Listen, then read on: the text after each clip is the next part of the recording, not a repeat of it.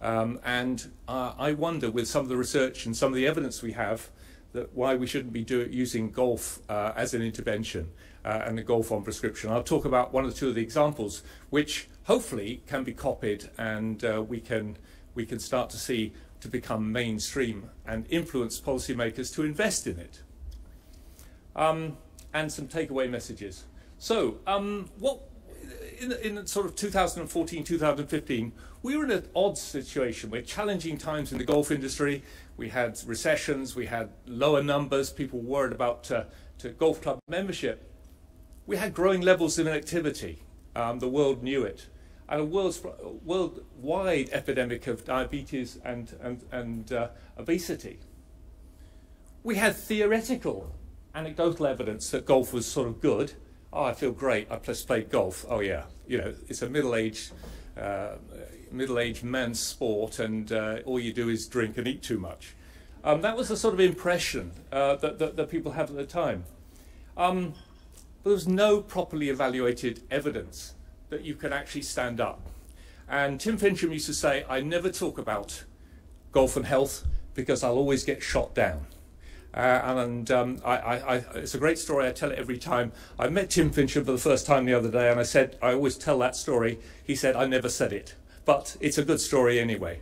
We, we need to be able to give our, our, our leaders the evidence so that if they stand up and talk about it, they can, if they get criticized, they can say, well, isn't this published in this, this, that, and the other?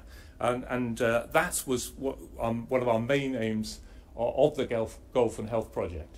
And we also had golf in the Olympics, so we were actually being looked at rather more closely than we were used to. So the project was set up in 2015, funded by the World Golf Foundation. I'm not going to go into how that was done. We have a PhD student, Andrew Murray, who will have finish his PhD soon and will have 30 more years in golf producing evidence uh, along these lines. And he's now just taken over from me as the Chief Medical Officer of the European Tour. Um, we had a number of universities involved, University of Edinburgh, uh, and, and, as you can see, an array of universities across the world. And the aim was for publication in leading peer-reviewed international journals. And actually, the, the, I have to say this, I'm the president, I have to declare this. Uh, we own half of the British Journal of Sports Medicine, which is now got the highest impact factor of any of the international journals on, on, on exercise. So I have to declare, I suppose, that I'm going to be a little bit biased. But we need to, to, to be able to publish in journals of that, of that ilk for our leaders to be able to stand up and for people to believe it.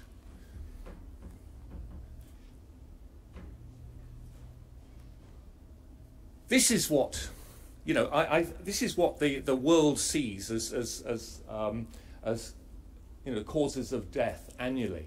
People will know more about shark attacks than they will do some of these other things. But physical activity is killing about 5, 5.3 million. So this is not some sort of little, uh, little problem that we've got uh, in the world at the moment. We've got some common in, uh, misconceptions. Inactivity is a small and insignificant risk factor.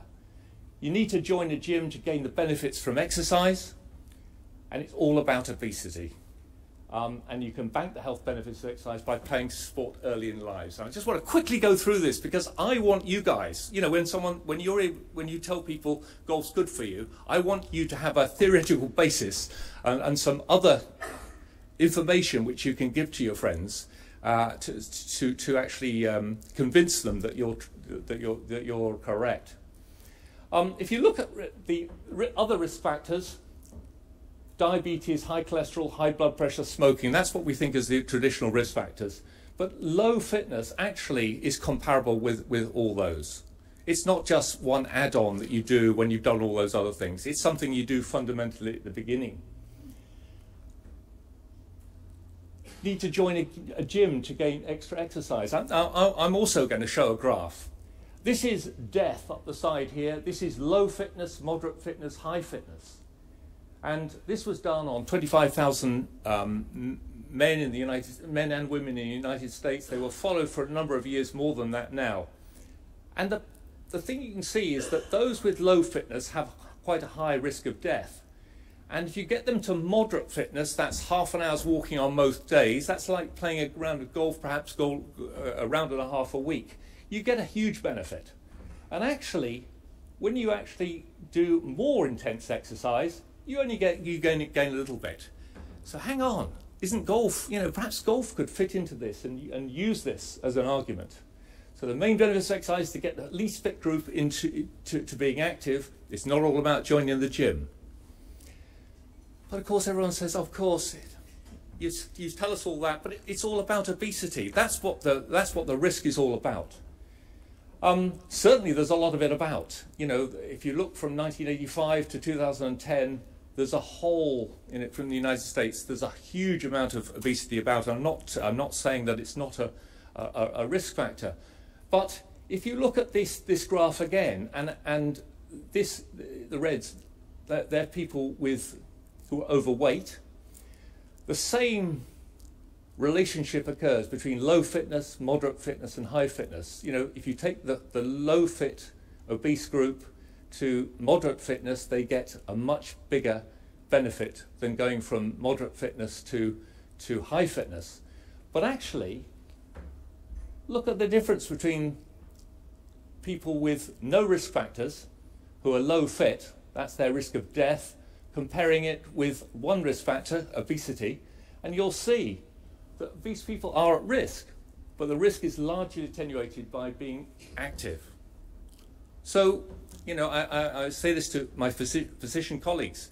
Um, if you've got someone that comes and said, well, I've been much more active in the last month, but I haven't lost any weight, don't give up necessarily that intervention because it's, it's about being active that actually reduces your risk.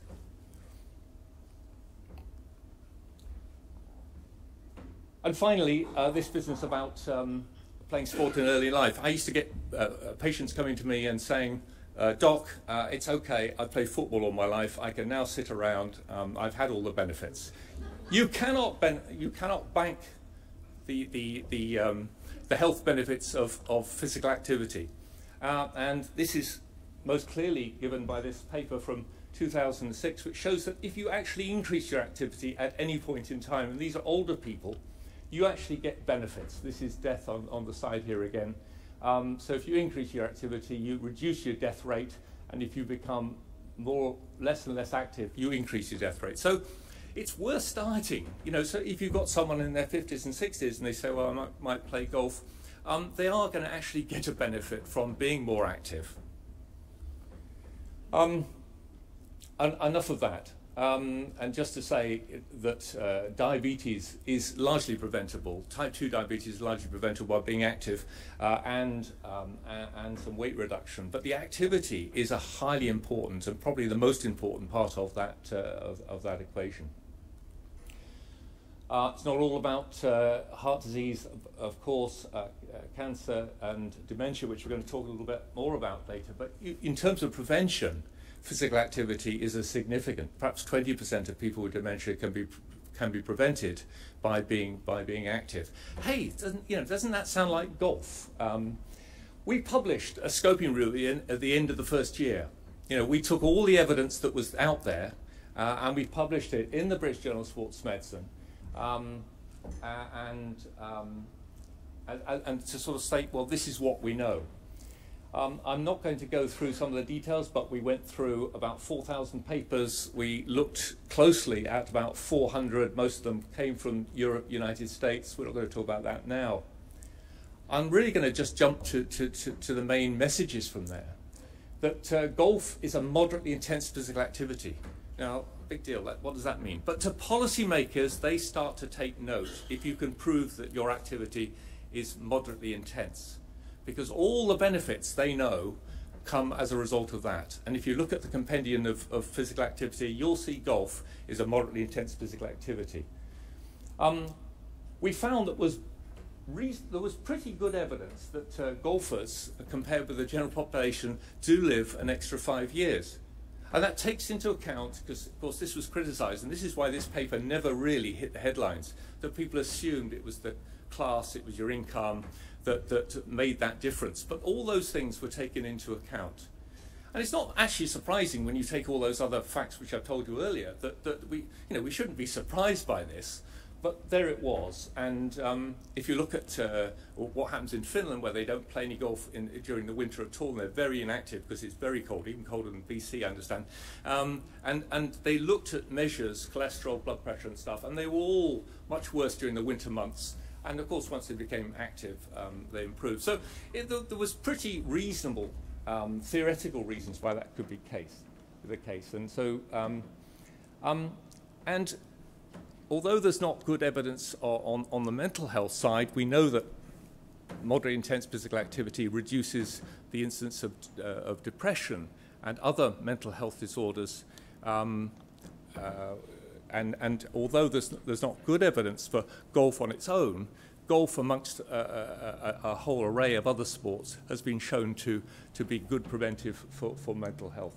But I suppose what uh, we need to say is that more research is needed. But it's a great start. And we've now, you know, with that publication in that leading, leading journal. What have we identified the gaps? We talked about physical activity. But actually, golf's not just about physical activity, is it? And there are social factors, there's a green space. Uh, and this is the most incredible paper that, that, that, that I've come across in the last few years you know, I'm a doctor. I suppose I was always looking at cholesterol and blood pressure and, and, and, and risk in those, in those terms. But this paper um, looked at a whole group of older people and it looked for risk factors for death over a five-year period. And to my surprise, lack of social interaction was the biggest risk factor compared with, you know, in, including high blood pressure, smoking, all the biggest risk factor for death in that five-year period. And suddenly I realized that actually, um, you know, perhaps this is, this is something that we should be boasting about uh, in, in the golf world. Uh, and this is something I think we need to talk more about it. I'm not going to talk about green space, but there's reasonable evidence that if you exercise in a green space, that you do better and you have better mental health outcomes than you do if you do it um, uh, in, in, in a gym or in a closed space with no sunlight. And you know, we've got no good evidence that, that, that um, we can say for golf in this area, but certainly uh, th that's something that uh, would be reasonable to, to be researching more in, into the future. The first International Congress on Golf and Health was held last year in, in October. Um, it had three elements, but I'm only going to talk about the, the scientific element because um, what we discovered at the end of the first year was a whole load of gaps. And so what we did was we tried to fill one or two of what we thought were important gaps. Um, we also found lots of work going on around the world that we are able to actually bring together and bring those researchers together uh, and encourage it uh, and encourage publication uh, and bring it to the attention of, of the golf world so we could use it uh, I say it's propaganda. That sounds bad, doesn't it? It sounds as subversive. But you know, use it as good reasons for why golf should be, uh, be, be uh, should be being promoted. I said to you that you know golfers live five years longer. I've told you that I'm not surprised by it. But if you tell policymakers um, that, that someone's going to live five years longer, they're not as happy as you might think they were because they know that it's going to be health costs. I don't really want this in the Vancouver Sun tomorrow, but uh, I, I, wasn't, I wasn't saying it's necessarily a bad thing. But what I'm saying is that it's about quality of life that we should perhaps be talking about more. Um, and, you know, if, if we can say golfers live longer and the quality of life's improved, policymakers are going to love us. And, and we found a, a group in Southampton and a group in, in, in Southern California who for ages they've been saying, they've been telling us uh, that, uh, that they thought that, uh, that, that, that the strength and balance that developed in golfers would be protective against falls. And we know that if you, if you demonstrate a reduction in falls, you can actually demonstrate a huge reduction in health costs. And suddenly, policymakers may be, may be more interested. And certainly, the, the World Golf Foundation, who funded funded uh, the, the project were really interested in, in, in, this aspect. And as a result, the, the R&A have funded uh, further studies in California. There was just pilot work up until this time uh, in California and Southampton uh, to actually look into this and to look at groups of golfers, compare it with, with, with controls, and then follow people who have never played golf and see whether they develop those characteristics. Bring those two things together and you've got more evidence. Now, there is an alternative. We could actually find twins at birth, divide them up, uh, get half of them to play uh, golf and half not, and 50 years later we could compare the groups. But uh, we found it difficult to get ethical approval for that, and it would be cost about 50 million, 50 million pounds. So this is, the, this is going to be the best possible evidence. Um, I'm also going to talk about uh, the, the, Parkinson's disease as well uh, in a moment. Um, it's also a bit of a, at the moment, it's, it's, it, you know, we were a bit ahead of the time because this was, this was published in 2018 in the American Journal of Preventive Medicine, saying that we should be looking at um, uh, strength and balance. Uh, uh, we've, we've done to death sort of physical activity, but we should be looking at strength and balance. Uh, and so this was just, uh, uh, you know, this was, this was we brought to attention of our sponsors to say that we were a bit of the head of the game. So I just thought I'd add that in. Uh, and here we are at the International Congress on Golf and Health. Um, and at that, um, we talked about strength and balance, uh, and I've, I've told you all, all about that already. Um, and we should have some results by the end of the year. Um, George Salem, Maria Stokes are, are, are, the scientists involved. There's, there's uh, uh, George talking at the, at the event. But we also had a very interesting discussion about Parkinson's disease. Now, I think probably most people will know about Parkinson's disease. Uh, they know about the, or certainly know about the tremor, but the fatigue, the reduced dexterity, um, falls, weakness, and then the psychological stuff here. Uh, and this is something that sort of um, came to our attention because uh, Dr. Anne-Marie Mil uh, Wills from from Harvard, no, no less an institution than Harvard, uh, rang me up one day and said, um, I think my patients do better if they, you know, the, the golfing patients seem to do better. Now, that's not causal. You know, she, she knew as a scientist, and she had no interest or no vested interest in golf, she knew that you couldn't say, therefore, golf was good for people with Parkinson's. But she noted that people with Parkinson's, Parkinson's that happen to play golf seem to do all right. And she wanted to do a study uh, and she was interested in, in measures of balance, uh, which, which, are, which are quite complex. Uh, and so um, she set up a study um, comparing golf with Tai Chi over a 12, 12 week period. Um, in, uh, what she did was that she got volunteers to, to, be, to, to come in and they would be allocated in, ra at random into the two groups. And she's going to compare those during this summer uh, and we should have some results by the end of the year. So this is perhaps another reason um, why we should be heralding golf uh, as, as a health-enhancing physical activity.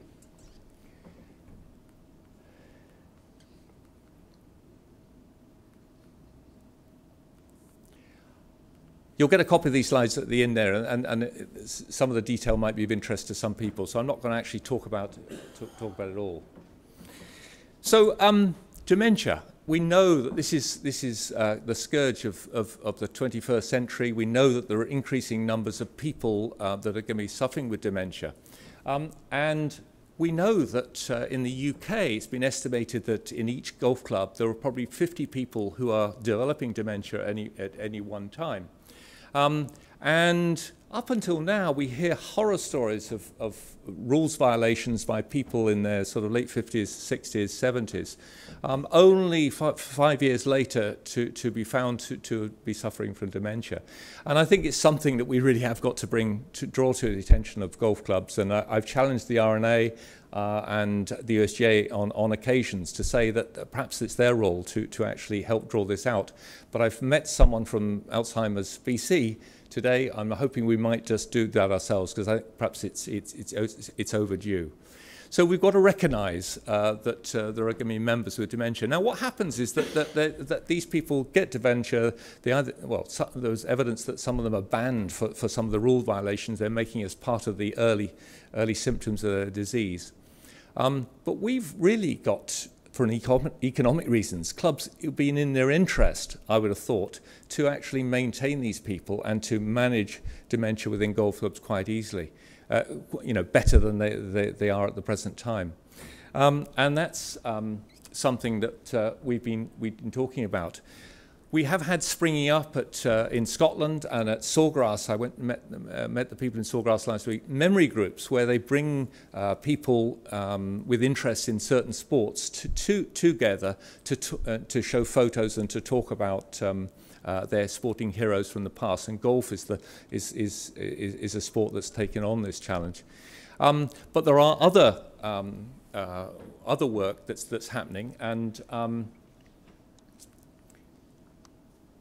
I want to talk about the Lincoln Golf Centre. This is um, uh, an inspirational chap, Anthony Blackburn, who has brought together people uh, with dementia at a golf club um, in, in, in Lincoln. And he say, well, what, what does he do? Well, he brings people and their carers together early in, early in the morning. They have coffee together. They sit and talk. Um, he's got volunteers from his golf club who he's trained up um, using the local Alzheimer's um, organization to, tr to, train them up. Um, the carers then disappear knowing that their, that their relatives are in, in good hands for the next two or three hours. And then they do a series of golf-related activities, including some driving, some putting, um, and then they, they go out and walk a hole, and then they uh, play a hole, and then at the end of the morning they come together again um, with the carers who come back. Now, I went along to see this and I wasn't sure what it was going to be like, but talking to the carers, uh, I was really, really impressed. Uh, and I'd like to show, if I can, um, a, a, video which is perhaps a little longer than, than, than you'd want uh, in the middle of this session, but I think it really captures uh, the value of, of that uh, intervention at a golf club at a time when there was no one else going to use that golf club and really extends uh, to what, to what uh, you were saying in the, in the last session, that perhaps this is something. Now we've got the evidence, perhaps, that, that, that golf is good, that, that, that, these things should be happening uh, under, under our club system. Um, just before I do that, falls are a significant risk factor for people with, with dementia. So you see what I mean? It all fit, it started to, to fit together. So if we're trying to convince policymakers to invest in this sort of work, you can see that some of the other work is going to, is going to help with this. Um, and we know that exercise actually is also related to, to, um, uh, to reduced um, cognitive decline.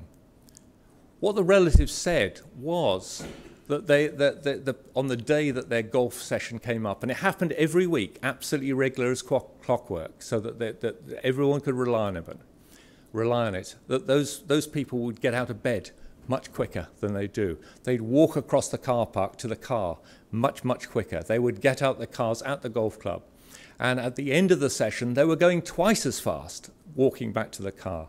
Um, and there was an evaluation done, and of course, you know, our, our, we, we, we want proper evidence for this, and we're encouraging um, the evid that evidence uh, and eva proper evaluations at the present time. And I hope that we'll be able to, in a, you know, a year or two's time, perhaps come back with concrete evidence that policymakers uh, would, would um, take seriously uh, and, and golf would be seen as a as health enhancing physical activity uh, or health um, enhancing activity um, for those with uh, these two conditions I've mentioned today.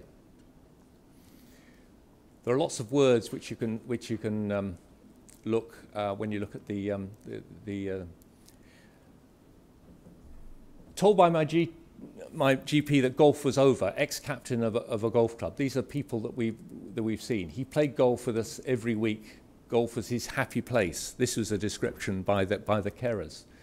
Um, this is uh, uh, Alan with, with Alzheimer's, who's no longer with us at the moment, 56. Um, you know, he, he played golf every week. He played rugby at a high level. But there was nothing, certainly in the UK, that, uh, that, that could compete with this. Um, uh, and uh, his, his uh, carer um, described very, very um, eloquently the, the benefits that that person got. 86-year-old um, man, um, vascular dementia, and you can see their little prizes that, that, that, from the competitions.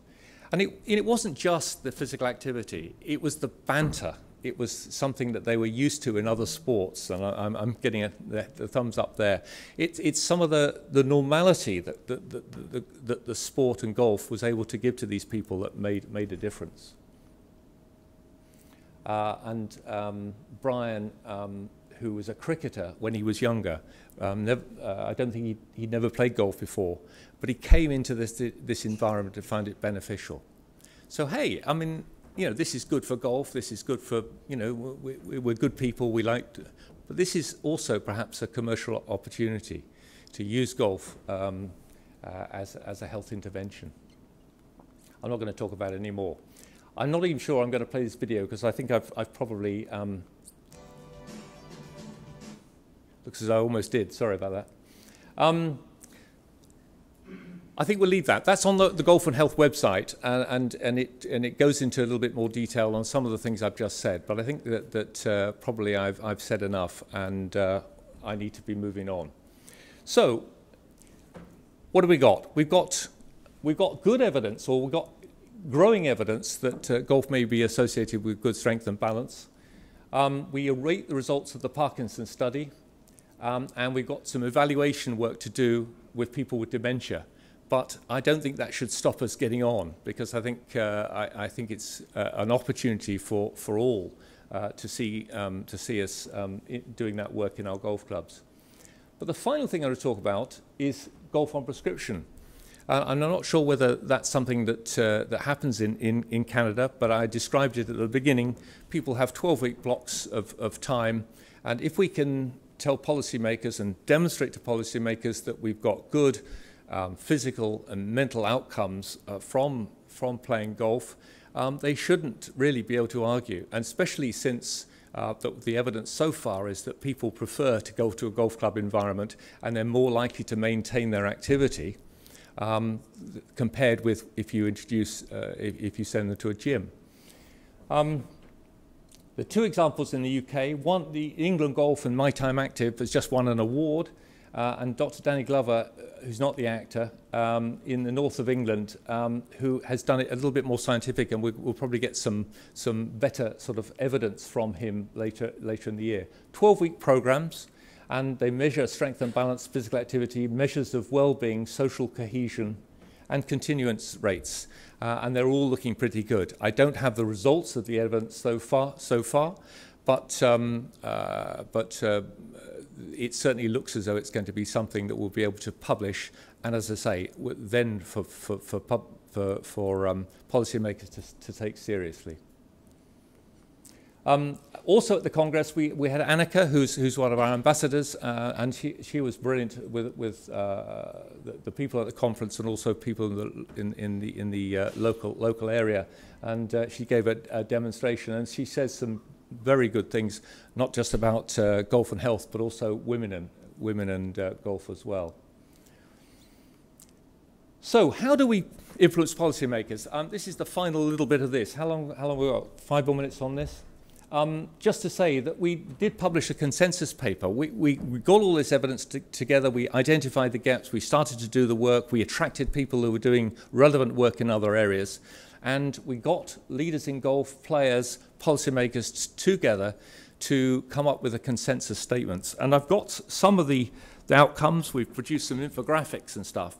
And what we're trying to do is to, to, to show those groups how do you maximize the benefits of golf and how do you reduce the risks. Although I've gone on about the benefits, there are some risks of playing golf, but they're, we, they're largely manageable. Um, and we've asked policymakers to look and take golf seriously. Um, we've asked golfers to, to take sensible precautions, but be reassured that they're, that they are actually doing themselves uh, a lot of good by playing golf. Uh, and golf club management, uh, we've given some responsibility to, to clubs to, um, as I say, to maximize the benefits and to, and to reduce the risks. Um, we published this again in the British Journal of Sports Medicine uh, with a number of, of, quite high-powered um, people involved, and we came up with some infographics which anyone that's interested could have a copy of here, but they are online with us.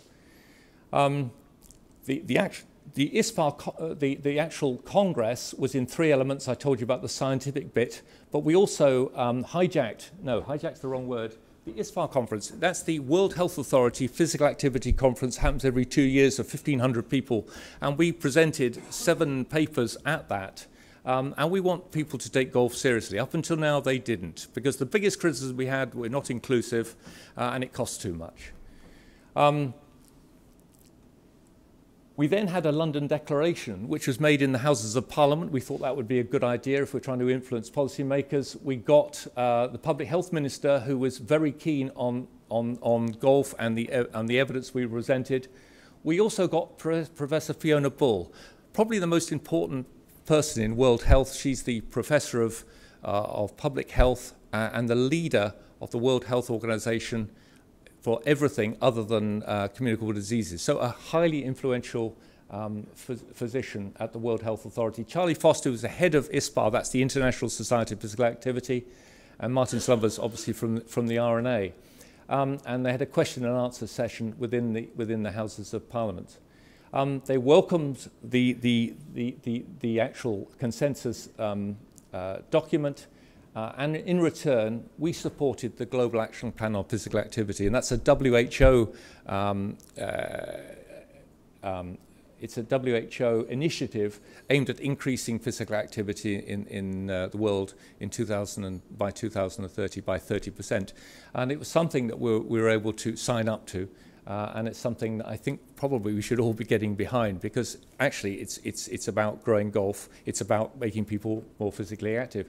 We don't want um, uh, 30 million extra people uh, playing golf, that would ruin our Saturday mornings. But, if, uh, but we should be getting behind uh, the fact that people should be, be being more, more active, and I think that's a responsible thing. Uh, there's um, Fiona Bull here. This is Andrew Murray, the, the, the, our PhD, Martin Slumbers. Uh, and this is our, the Public Health Minister, UK Public Health Minister. And they did a, a session within the, within, within the uh, Houses of Parliament. But Steve Brine said, growing evidence about the way sport can help those living with long-term conditions such as Parkinson's dementia. This is a UK minister saying publicly uh, good things about, about golf. This is Fiona Bull, head of the WHO. I took up golf in my 30s, but thought it was a very technical, expensive, and elitist sport. Thankfully, I came along on a, on a come, and try, uh, come and try session and realized that it was enjoyable. Um, also, actually better value. What she also said was that uh, her son, her young son, played soccer, and it cost more to, to send the young son to soccer than it was for her to play golf on a, on a Sunday morning. I mean, to have someone of that caliber in the Houses of Parliament saying that, we should, you know, we should be using that, taking to our policymakers uh, in other areas to, to, to show that golf is, uh, is, is useful.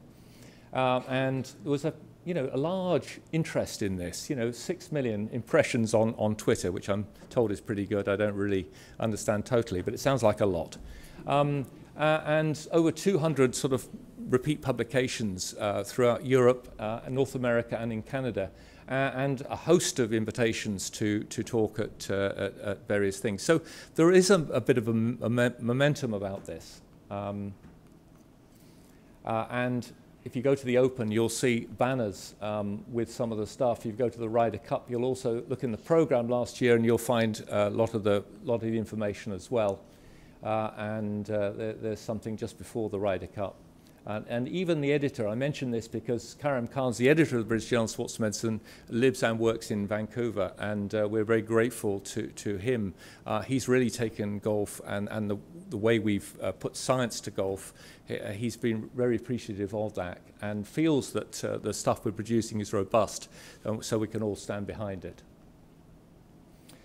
Takeaway, it's official, golf is good for you, but be more confident you know, when people, you know, start being a bit skeptical about some of the things that you say, have that information about uh, not being able to bank it, uh, that, uh, and some of the information I gave early on in, in the talk.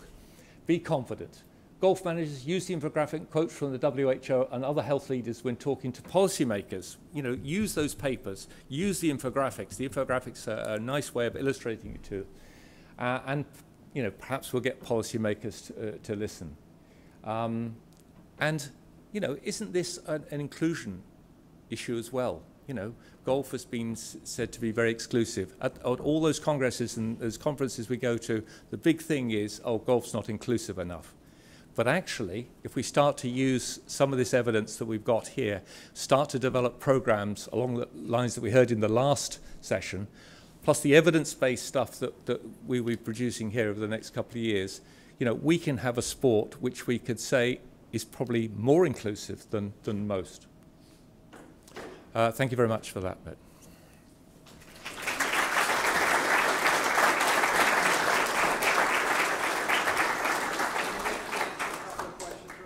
Yeah, a couple of questions. I'll just take at the same time. Okay. Yeah. The first question that I have is that there was a uh, documentary uh, filmmaker um, was published last year. It was called uh, Dad and the Dandelions. Um, it was the story of a filmmaker whose father played golf, Right. developed cancer, and uh, uh, passed away relatively quickly. And the the inference, the strong inference from the, from the documentary that he produced was that it was pesticide use on the golf course Yeah. that caused uh, the cancer to develop. And I just wondered if you can address that particular issue. Yeah. Well, I, I'm not an expert. I mean, we've got agronomists coming up next. Use a microphone. Can't hear. Sorry. Sorry about that. Um, I wa- wasn't going to say anything very momentous, to be honest. I was going to hand it over to the USGA agronomist uh, to, to, to, to say about the. Uh, but I'm sure we're going to hear that there's, there's lower and lower use of, of, of pesticides. Um, certainly, from the evidence that we've looked at, um, there's no increased risk uh, of playing golf uh, on golf courses. Um, but e- even 20, 30 years ago, when, when pesticides were being used a lot more, I understand now that there's an awful lot less. But I sat uh, and answered questions at the global, some global um, health organization, uh, very sort of holistic, um, very green uh, um, group of, of people, uh, and they um, accepted that, uh, that golf was probably not uh, golfers were not at risk uh, from the use of pesticides on the golf course, certainly in the present day, and no evidence fr- uh, in, the, in the last 30 years that's true. Are there any other questions? Is, uh, on the website, is there, uh, information about the Lincoln Golf Course for the processor or is operating manual for setting up, uh, something like similar to what they're doing? Yes, uh, uh, and um, I got a little bit behind there, um, uh, and I'd like to say that Anthony Blackburn, who I think is, you know, has been inspirational from, from my point of view uh, in his enthusiasm, uh, and he's got manuals, and he's willing to uh, talk to anyone that's interested in setting up these um, these sorts of systems uh, in in any golf club anywhere, and um, there's no point in reinventing the wheel. wondering, um, have you looked at, uh, golf and autism? Golf and autism? Have you looked at that? Yeah, um, I'm going to come and talk a little bit more about autism in the in the next um, in the next session. Um, so could I leave that till then? And if I haven't answered your question at the end of it, um, but certainly uh, people with autism um, seem to en- enjoy golf. Um, I, I've got an autistic. Uh, uh, friend who says that he doesn't like the idea of tackling and, and competing against people, but he's quite happy to compete against the course. Uh, and it, that was one of the reasons why we've we've extended the neuro, neuro, neuro, the definition of neurodevelopmental disorders, uh, and uh, we'll have autism, uh, people with autism playing uh, with world ranking points. I'm going to talk about that in a minute.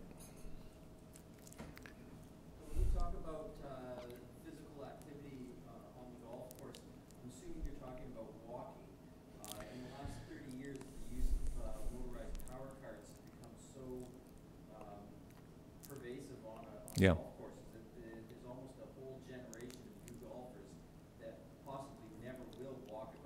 Yeah. Yeah. There, has there been any studies that show that even the possible, that that there still are health benefits, even if you are in a motorized golf cart at all? Yes, if you actually look at the physical activity related to, to using golf carts, it's not actually as as as as little as you might think. Um, and we're doing some work at the moment because the actual act of getting onto a, a, a getting on and off um, uh, may be more beneficial than just walking along. We know that uh, osteoporosis is better when you bounce around a bit, and perhaps um, uh, I, I, think that's that's a, that's a really good point. What we've said uh, in these guidance on on on um, uh, maximizing the benefits is that when you can, you walk the golf course, but we're not trying to get in the way of you know, some clubs they, they're just built on uh, the need to use golf carts, but we still think there's there's benefit. Uh, but you probably have to do a little bit more of it to get the same benefit as walking. But perhaps there's more to come on that. We've got some stuff in the pipeline. Yeah. Hi, Dr. Hawkes,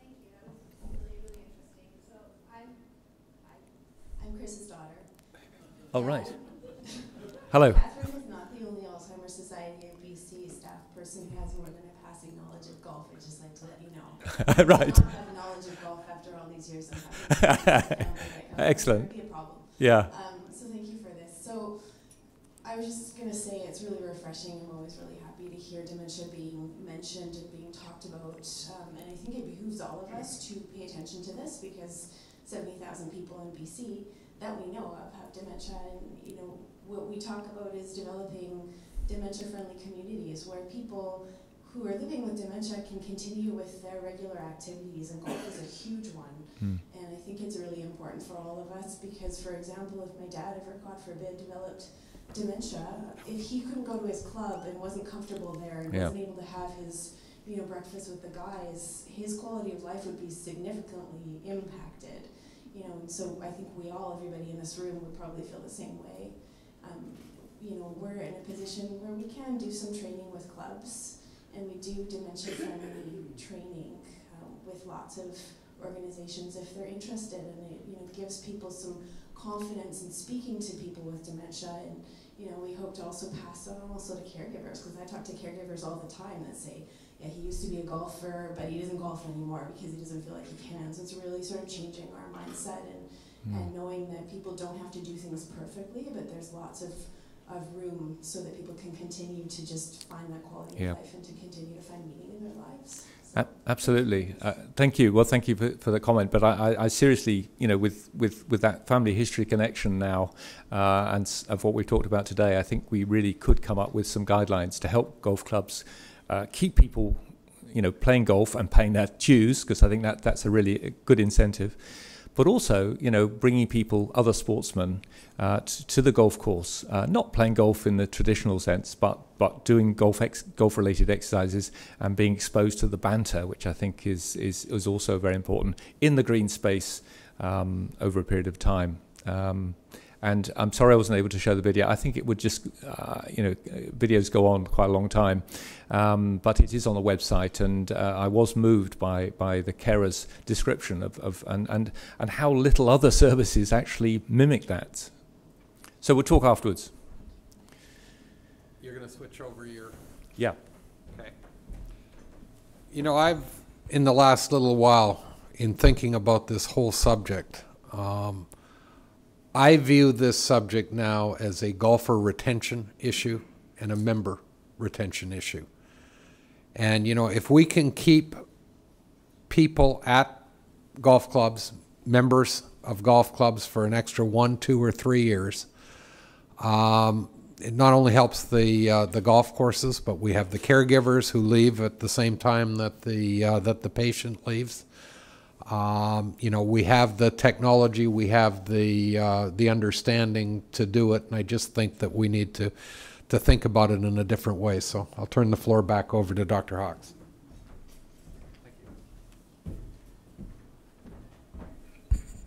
Right. Um, I seem to have hogged this a bit, but um, I, am very well aware that we've got Darren in, in, in, the room, and I think that if there are things that come up, you might even just stand up and, and, and tell me. I, I didn't have too much experience of, of golf for disability um, uh, up until a year ago when I was asked to, to become the director of eligibility classification um, for uh, golf, for EDGA Golf. Um, I'll explain what that means in, in a minute. But uh, I've got people in the room um, who will have been involved for many, many years longer than I have. So I'd like you to feel free to, to stand up if I say something which is uh, which they don't like, or if they like it, stand up and say, yep, fine, we've got it right. Um, but um, uh, I, have been involved in EDGA. EDGA is the European Disabled Golf Association, but it's not now. It's called EDGA because it now includes Australia, um, uh, Argentina, uh, and, and, North America um, as, as, its members. So clearly, it's not European. But it's a bit like the European Eurovision Song Contest. It has all, people from all, all around the world. Um, and I was asked to, to, to do this because I suppose I was a, I was a doctor. They, they knew that I knew, and, and they, I was also involved in, um, I knew everyone in golf, and that's how I got involved. So it struck me that, uh, that with the work on golf that, that we've done on golf and health, that actually we needed to, to become and be seen to be most more inclusive.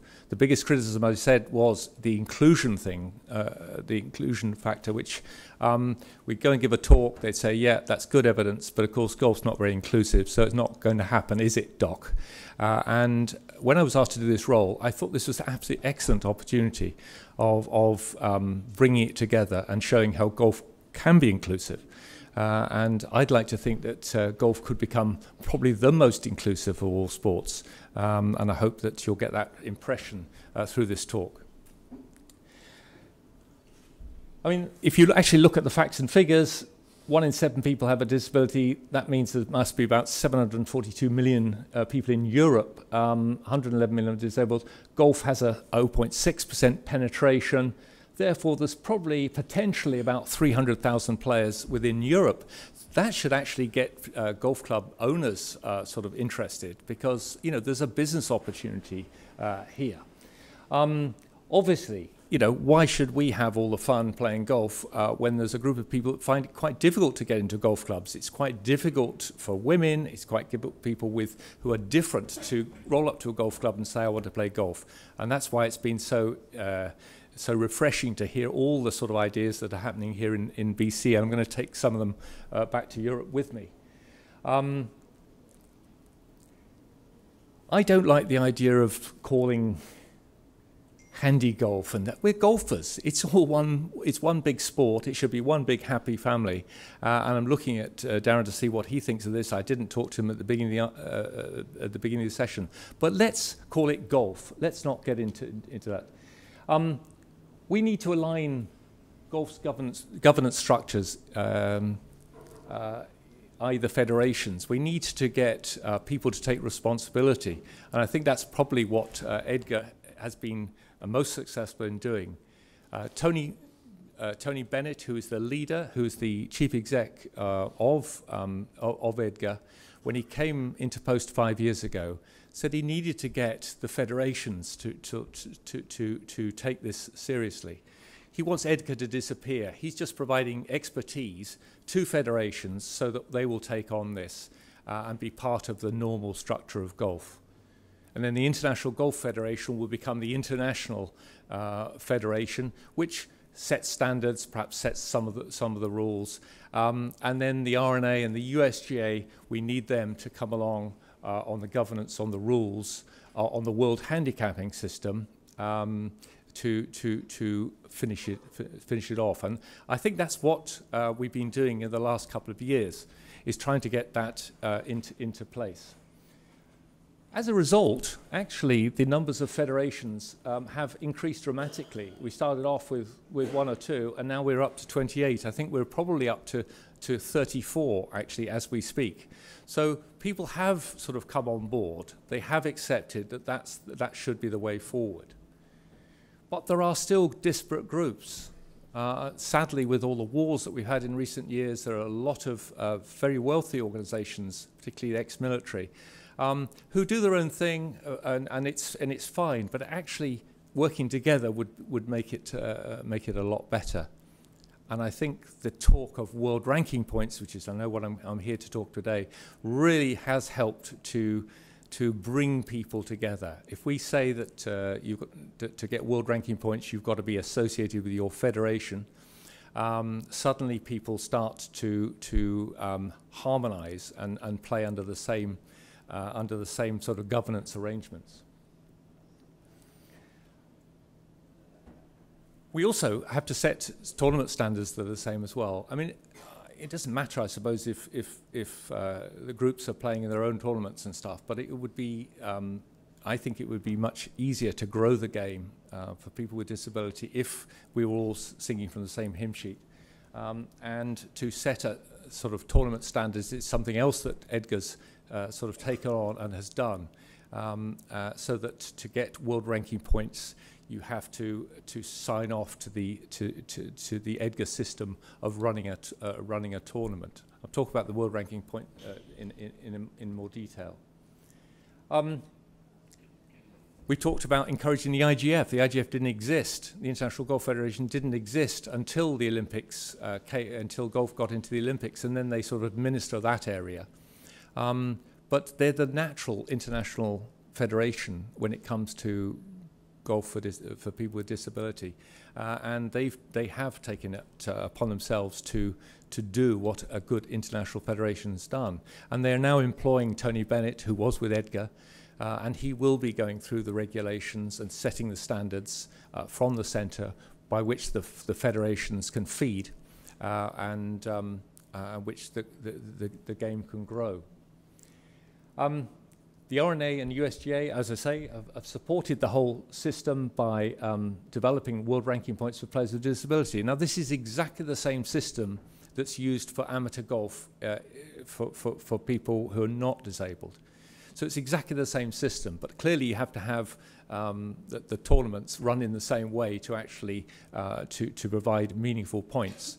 Uh, and that fits with what I've, which, what I've said about the, the setting of the tournament. So the world ranking points can be obtained by players um, who have a WR4GD pass. This is the pass by which um, you're able to play in events to get world ranking points. I'll talk about that next.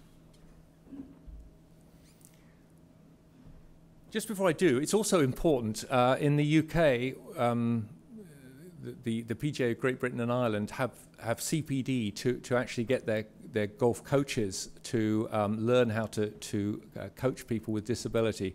In some countries, uh, this is all part of the base learning in the, in, in the base programs.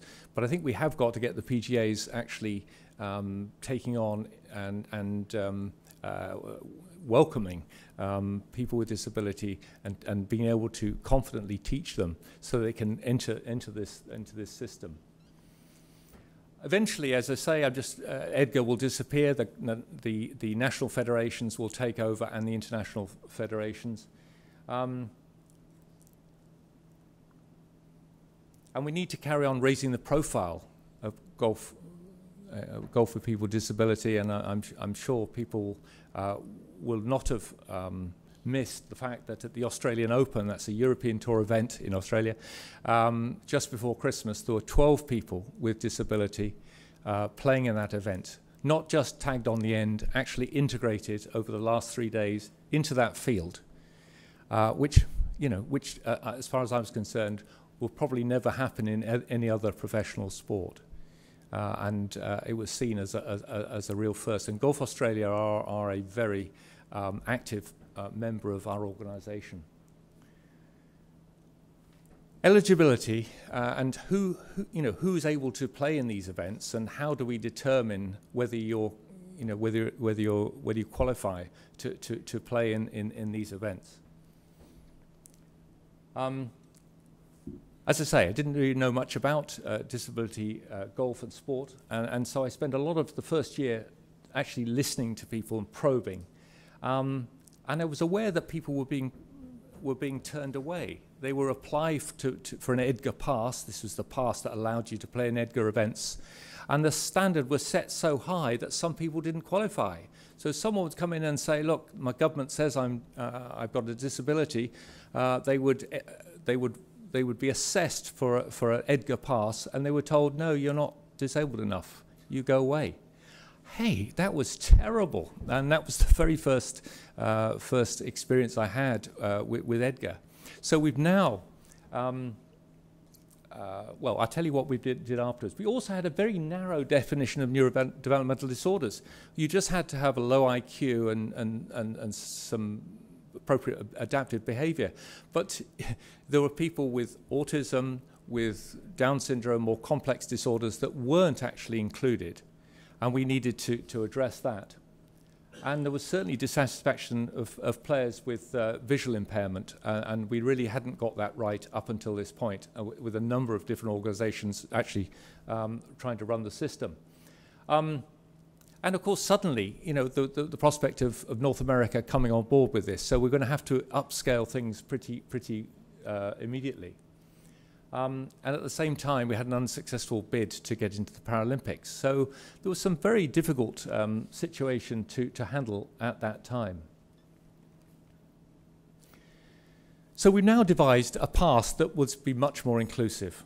At the moment, if your government says that you've got a disability and you want to play comp in, in competitive uh, golf, um, you can apply for an access pass through my, my, my uh, department um, and you will then be able to, to play in tournaments. You have to have a playing handicap, um, and, uh, but that's all you need to, to, to do.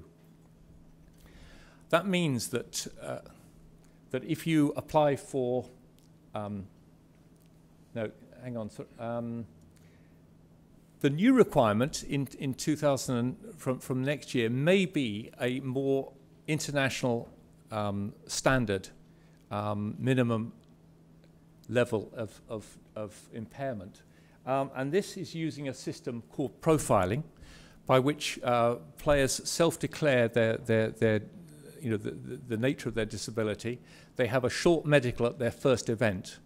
Um, and the advantage to us is that we un will understand a little bit more about uh, the, the, conditions that people are, are, playing with and will allow us better um, planning for the future.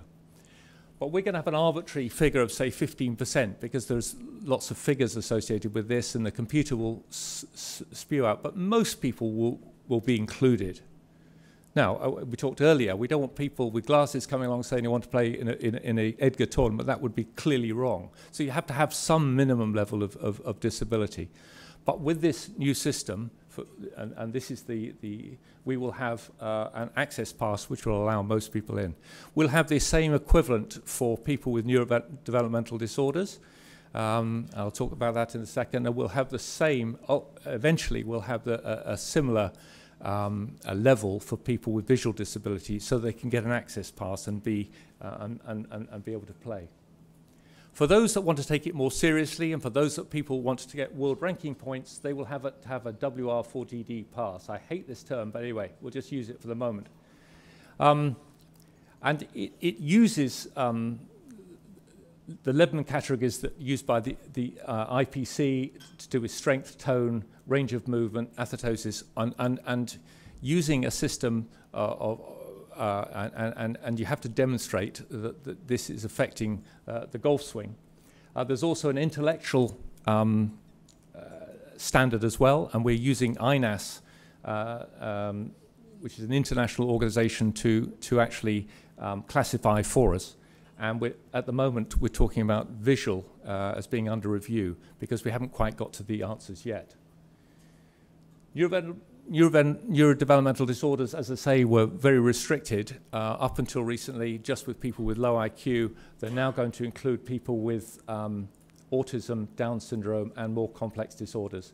Uh, INAS is the international organization that's going to be doing this for us. The, there are members in, in most countries, uh, and there's an, uh, there's an uh, international uh, agency as well, and they will be um, giving either international or national level classi classification the national level classification will, will allow you to play in access events. The international uh, level, which is, which is a little bit more cumbersome, it takes a little bit more time, will allow you to have a WR4GD pass. So we'll suddenly have people with neurodevelopmental disorders, many more of them, playing golf at, at, at both those levels. I've said this already. Um, the world ranking points run by the R&A and USGA in exactly the same way as, as the, um, the, the, the, amateur uh, standings. The tournaments have to ed- be EDGA approved. We've clearly got to have standards uh, for how the tournaments run. Otherwise, it'd be difficult to to actually to give out points.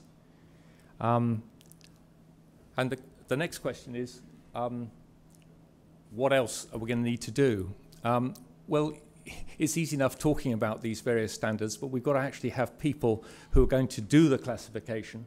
Uh, and we've got to talk about classification qualifications in North America and training. And we're working on an electronic system which will allow people to apply online, but there will still be a requirement to, to have people um, at events to actually check out on, on people's eligibility. Um, what we've got, the system at the present time is that you apply uh, for either an access pass or a WR4GD pass.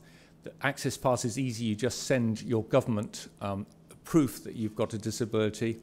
Um, if you want to apply for a WR4GD to get world ranking points, uh, you fill in, uh, fill in a form, it comes to our office, it's looked by our, our head classifier. Um, you'll be expected to see a physiotherapist and, and, a physician to add a little bit more detail to that application.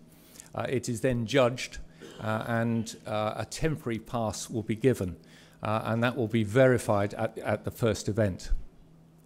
Um, of course, it means that each event has got to have a classifier uh, attending it, and at the moment in North America, we haven't got any trained classifiers, but we're working with the USGA, the R&A, the IGF to actually create that. I think this is a great um, opportunity to, for golf to show more inclusion uh, at both ends of the game. Um, let's get more people uh, enjoying golf. Um, it's also a, a, business opportunity because um, of, of, the reasons I've said earlier. And on the horizon, we have the, the planning of various majors. We have the USGA, we have the R&A, looking at major events uh, over the next few years. We also have the, uh, the European Tour looking at uh, involving people with disability in European Tour golf events. These are the top players playing in European Tour events uh, this year, next year, and, and in years to come. I don't know if people have heard of Monique Kalkman, but uh, the, the, point I'm going to make here is already made earlier that um, this is a, a, lady who played um, table tennis and um, tennis, uh, and tennis um, in the Paralympics, who then discovered uh, golf. Um, she had a Ewing's tumor when she was younger and had a spinal cord lesion, um, which meant that she was in a chair. Um, and when I heard her speak, the most, uh, like Chris said earlier, the most impressive thing is that she said with the para golfer, she's able to stand up and hit a ball. And she said that in all her career in table tennis and, and, and tennis, the pinnacle was being able to stand up in a para golfer and, and hit that ball. Uh, and uh, she's a very inspirational speaker. And if anyone has an opportunity to, to, to uh, meet her, uh, I would suggest uh, that you do. And this man, um,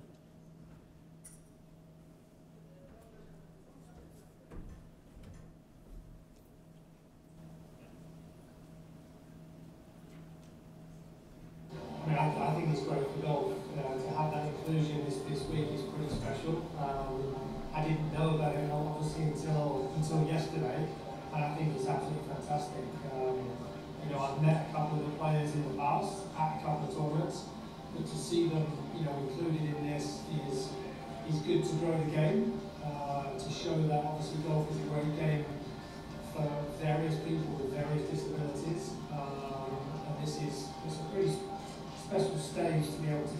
come and play golf. So, uh, you know, they're, they're in our um, they're in our team room, they're in our, you know, they're in our locker room, they're, they're sharing everything with us this week, and I think it's, uh, I think it's really inspirational.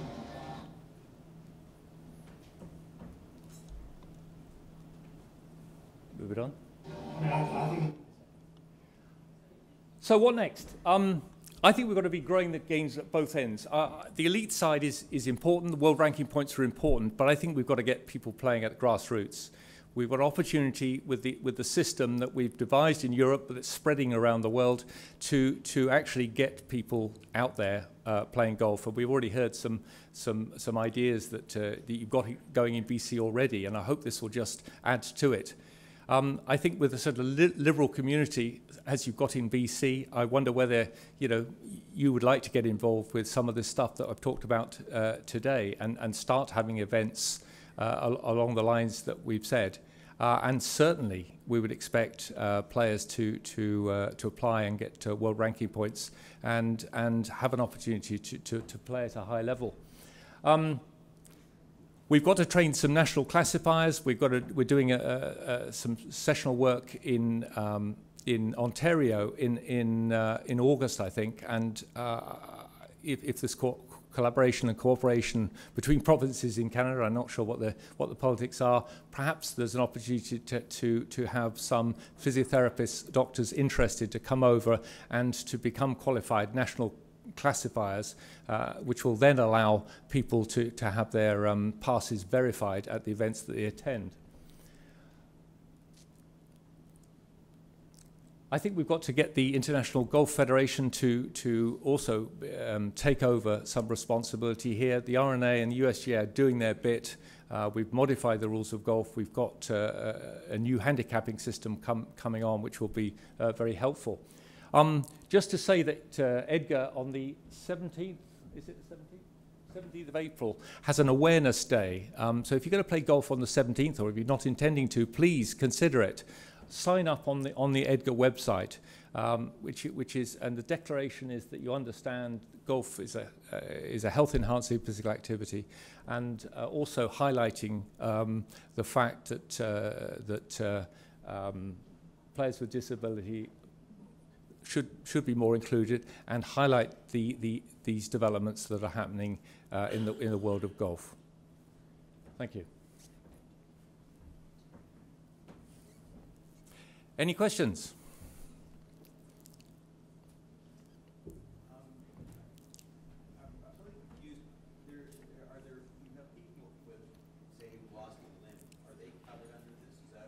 They are, yes.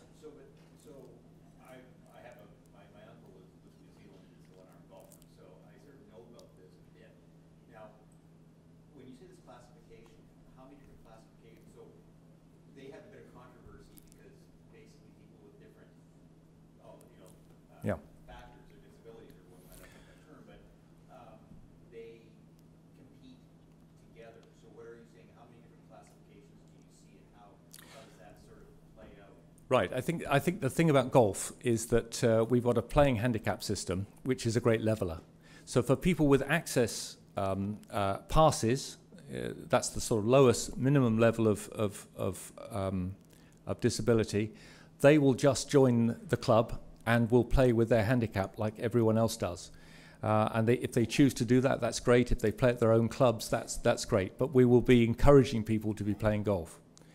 At a higher level, we, we've, we've got to make some, uh, some, some more rules and you either have a sensory loss and, and uh, visual impairment is going to be one, intellectual loss, um, which I've talked about and, and, and with growing numbers in that area as well.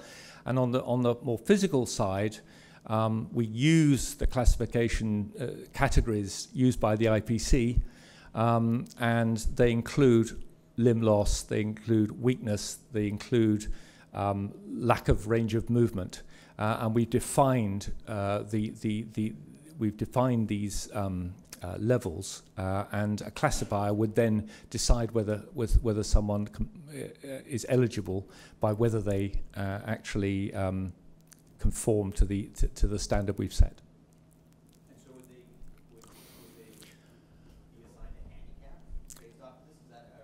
No, no. At, the, at this moment, we, we, we don't think that's necessary you, because, again, most of those tournaments will be played using a, a, a playing handicap, uh, and it's only at the top level uh, where people uh, play, off, play, play scratch. Uh, and at, uh, at the events that we talked about, that at the elite end, um, players will, will, will be playing um, off scratch. And yes, it's, um, it's not quite the same as the, the IPC see it. But um, I think if we started getting into, you know, plus, you know, plus five shots if you've lost an arm at this level, uh, plus two, you know, it would be so complicated. Uh, and we want this to be a game for golfers. We don't really want para golfers. We don't want to distinguish uh, and, um, between us and, and anyone else that wants to play golf. It's okay. Thanks, Dr. Hawkes. Thank you.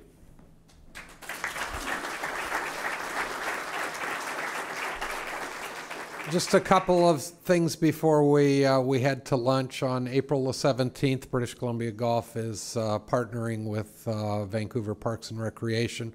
We will be doing a media day for uh, golfers with a disability. Dr. Hawkes uh, will be meeting with the, uh, with the media.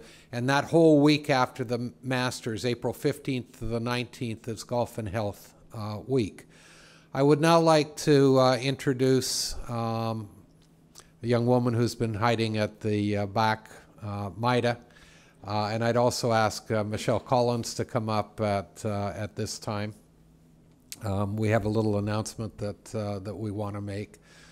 Maida is the managing director of Sport Cardiology British Columbia. Michelle is the uh, incoming uh, president of uh, British Columbia Golf. Um, British Columbia Golf and uh, Sport Cardiology BC have uh, just recently formed a uh, partnership, which we are delighted to announce today, that going forward, um, Sport Cardiology BC will be the official health advisors to British Columbia Golf, and they will be contributing articles uh, for our website, for our digital magazine, uh, social media, uh, and they will, in fact, issue a prescription for people to play more golf. So, Michelle and Maida, if you could come up. The two of you would.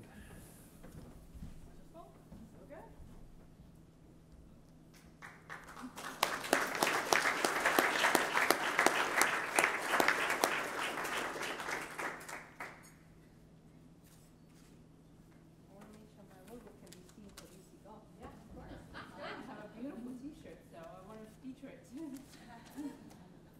Awesome. Thank you.